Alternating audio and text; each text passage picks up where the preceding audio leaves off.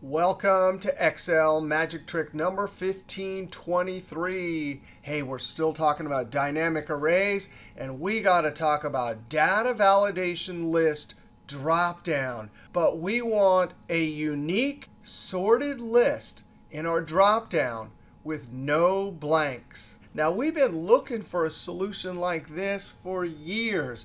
And with the new Office 365 dynamic arrays, the solution is easy. Now let's look at the end result. I simply want a sorted dropdown that will allow me to change this. I'm going to change it to Al and enter. And when I come over to the dropdown, there's Al right at the top. Now we'll go over to the sheet 1523. Now the first thing we want to do is extract from the player column a sorted unique list. Now I'm going to add an empty here because we have to deal with that.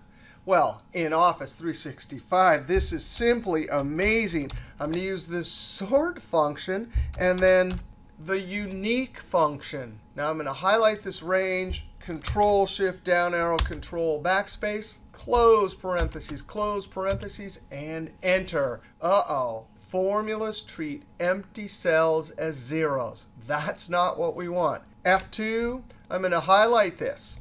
Control C, and guess what? We're going to treat this as a list that we want to filter. Filter is yet another amazing new array function. There's the array, comma. And what do I want to include? Control V. And I'm going to say, as long as you're not equal to 0. Less than greater than means not. Now, that last argument is if this returns nothing, which we're not going to have. Close parentheses and enter. And so now we have filtered. If I come up here and change this to Al, just like that, our sorted unique list is working. Now, here's the data validation part. We go up to the Data Ribbon tab, over to Data Validation, and click. If you want to use the keyboard, Alt-D-L, Tab, L, Tab. Now, all we have to do is reference the array. If I put that range in, it gives me that range right there, and that's not what I want.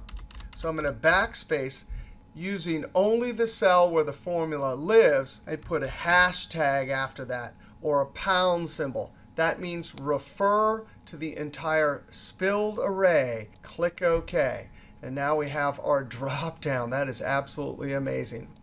I'm going to add a name banjo. And just like that, our list is working. And over here, sure enough, there it is right at the top. Now, if we want to add records to the bottom, of course, we have to convert this to an Excel table. So I'm going to click in a single cell and use the keyboard Control-T. Click OK. Notice that our formula is referring to the range A5 to A29, which is the correct range here. When we convert it to a table, anything pointing to the table will update when we add new records to the bottom. Now, in earlier videos, we used table formula, nomenclature, table name, column name. But it's perfectly all right to use the cell references. Remember that that's A29. So we'll go down to the bottom of the table. And in the first cell below the last record, I'm going to type a new name, Aaron. Put the date and the weight and on. Enter. Now when I go up and I look at our formula, F2, there it is. It expanded to A30. And of course, Aaron's at the top. And our data validation dropdown sorted unique list has Aaron at the top.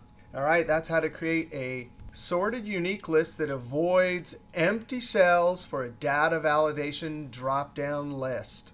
All right, if you like that video, be sure to click that thumbs up, leave a comment, and subscribe, because there's always lots more videos to come from Excel is Fun, including 24 and 25, a couple more cool dynamic array formula tricks. All right, we'll see you next video.